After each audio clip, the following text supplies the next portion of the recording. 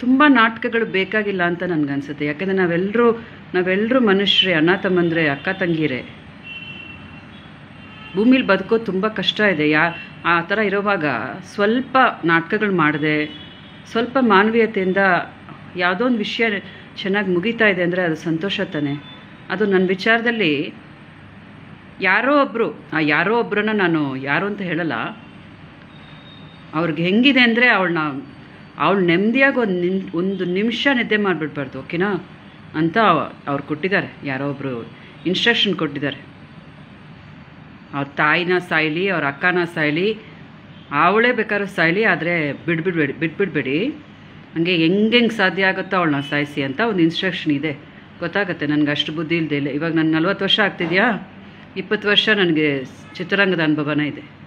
So ಯಾರು ನಾಟಕ ಮಾಡಬೇಕಾದ ಅವಶ್ಯಕತೆ? ಆ್ಯಂಡ್ ಶುಕ್ರವಾರ ನಾನು ಕರೆದ್ಬಿಟ್ಟು ವಾಣಿಜ್ಯ ಮಂಡಳಿಲಿ ಮಾಡ್ತಕ್ಕಂಥ ನಾಟಕ. ಆಹಾ, ಏನು ಪ್ರೀತಿ, ಏನು ಪ್ರೇಮ? ಮಾಧ್ಯಮದವರು ಅಷ್ಟೇ ಎಷ್ಟೊಂದು ಮೇಡಮ್, ನೀವು ಹಂಗೆ ಬರಬೇಕು, ಹಿಂಗೆ ಬರಬೇಕು.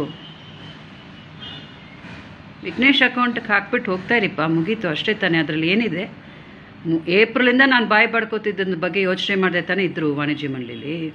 ಮತ್ತು ಇವಾಗ ಆ ಅಕೌಂಟಲ್ಲಿ ಹಾಕ್ಬಿಟ್ರೆ ಏನಾಗ್ಬಿಡುತ್ತೆ ಅಂತ ನನಗೆ ಅರ್ಥನೇ ಆಗ್ತಿಲ್ಲ. ಬರೀ ನಾಟಕ ಬರೀ ನಾಟಕ, ಬರೀ ಸುದ್ದಿ.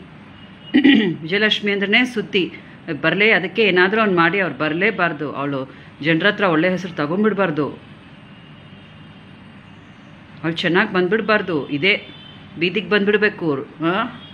ಇದೇ ಇದೆ ಅವ್ರ ಮನಸ್ಸಲ್ಲಿ ಜನನೇ ಸ್ವಲ್ಪ ತುಂಬ ಡೀಸೆಂಟಾಗಿ ನಡ್ಕೊಳ್ತಿದ್ದಾರೆ ನನ್ನ ವಿಚಾರದಲ್ಲಿ, ಪಾಪ.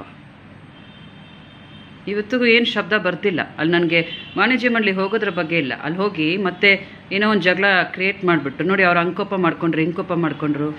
ಸುಮ್ಮನೆ ನಾಟಕಗಳು ಮಾಡ್ತಿದ್ದಾರೆ ನನಗೆ ಗೊತ್ತಾಗ್ತಿದೆ. ಯಾವುದೋ ಒಂದು ಒಂದು ಜಾಗದಲ್ಲಿ ಜಗಳ ಆಗುತ್ತೆ ಅಂದರೆ ನಾನು ಹೋಗಿ ನಾನು ತಲೆ ಕೊಟ್ಬಿಟ್ಟು ಅಲ್ಲಿ ನಾನು ಮಾಡ್ಕೊಳ್ಳಲ್ಲ ಗೊತ್ತಿಲ್ಲದೆ ಆಗಿಬಿಟ್ರೆ ಓಕೆ. ಇದರಲ್ಲೇ ನಿಮಗೆಲ್ಲ ಗೊತ್ತಿರುತ್ತೆ. ಇವಾಗಲೇ ಗೊತ್ತಾಗ್ಬಿಟ್ಟಿರುತ್ತೆ ನಿಮಗೆ. ಕರ್ನಾಟಕ ವಾಣಿಜ್ಯ ಮಂಡಳಿ ಅಂದರೆ ಏನು?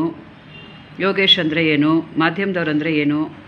ನನ್ನ ಸ ನಮ್ಮ ತಾಯಿ ಸತ್ ಮನೇಲಿ ಏನೇನು ಎಲ್ಲ ಮಾಡಿದ್ರು ಅನ್ನೋದ್ರಲ್ಲಿ ನಿಮಗೆಲ್ಲ ಗೊತ್ತಾಗ್ಬಿಟ್ಟಿದೆ. ಇದ್ರ ಮೇಲೆ ನಾಟಕ ಮಾಡೋದಕ್ಕೆ ಏನಿಲ್ಲ. ಅವ್ರವ್ರಿಗೆ ಅವಾರ್ಡ್ ಕೊಡಬೇಕಷ್ಟೆ. ಬಿಗ್ ಬಾಸಲ್ಲಿ ಒಂದು ಅವಾರ್ಡ್ ಕೊಡ್ತಾರಲ್ಲ? ಆ ಥರ ಕೊಡಬೇಕಷ್ಟೆ ಎಲ್ರಿಗೂ